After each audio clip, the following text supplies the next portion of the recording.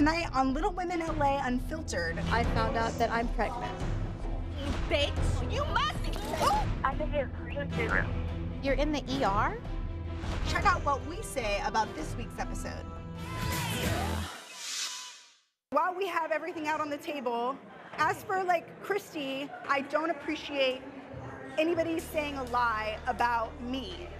When Christine and I started getting in a fight, I was repulsed by how much she's lying to my face all over again. I was trying to make her feel good when she was in By Mexico. saying that we were forced to come, I didn't say that you were forced to come. why throw us under the bus to make yourself look better? Like, no wonder Briana didn't think that we had like the best intentions of being there. She told the girls I forced them to go to Mexico when I just really strongly encouraged them to go because we're not going for Matt, we're going for Briana. Take any I did say that. You we were with the conversation. us. And I did. Take it convincing for you. It felt like I was Get it through your convincing school. You do not convince me for. Back in the very beginning, Christy had a history of lying to me.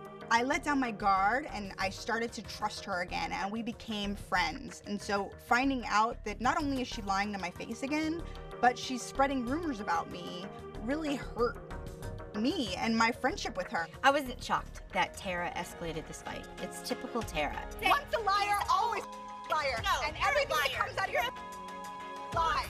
Like, you About what? About my drinking, you bitch. No, you must be.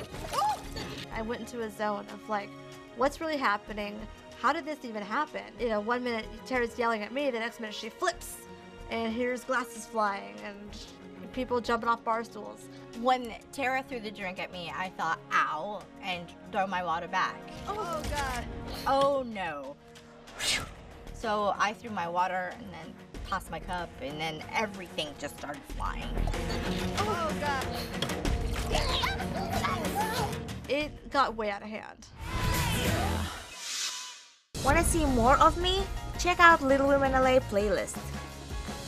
How many tall guys have you dated how many little guys have you dated? How tall are you? Six two. I'm up to your